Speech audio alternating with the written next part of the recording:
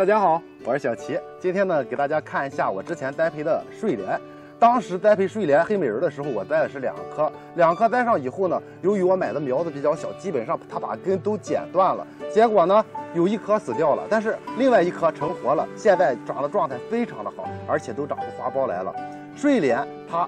叶片大部分都是浮在水面上的，而且它开花性能非常的强。你看开出来的花是一个蓝紫颜色的花，花虽然不大，但是花量大，一直往外出花苞，一直开花。它只要容器足够大，尽量的不要用太小的容器，在四十厘米口径左右的话才是最好的，就能够保证它根系在里边。快速的去生长蔓延，然后呢，在长的同时才能够不断的往外去长出花苞来，一直开。还有一点就是必须要见充足的光照，光照不充足，它会只长叶子，根本长不出花苞来，这是它一个关键点。那么我们水培的睡莲、晚莲，它要不要施肥料呢？肥料当然要给它用了。怎么去施肥呢？很简单，我们只需要给它用缓释肥料就可以了。